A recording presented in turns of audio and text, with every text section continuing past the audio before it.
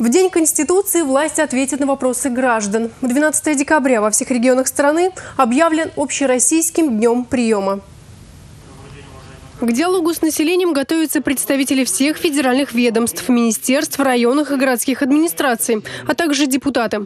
Встречи с гражданами состоятся в актовых залах школ. Подробный список открытых площадок появится на официальном портале органов власти.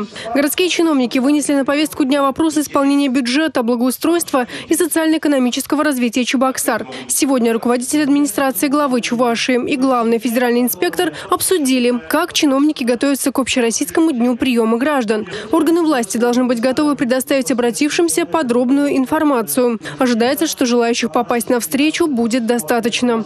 Галина Титарчук, Дмитрий Ковалев, Андрей Шоклев, Республика.